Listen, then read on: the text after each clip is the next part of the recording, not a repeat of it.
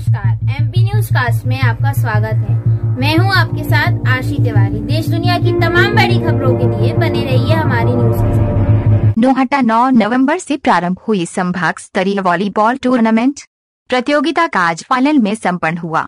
एवं हरदुआ सुमेर में जनसंपर्क किया वो शोकाकुल परिवार में सम्मिलित हुए। एवं जनपद सदस्य सचिन मोदी के जन्मदिन पर वॉलीबॉल ग्राउंड में केक काटा गया व प्रतियोगिता का आयोजन किया गया है, जिसमें जबेरा विधायक धर्मेंद्र सिंह लोधी ने अपनी उपस्थिति दी एवं ग्रामों का जनसंपर्क भी किया।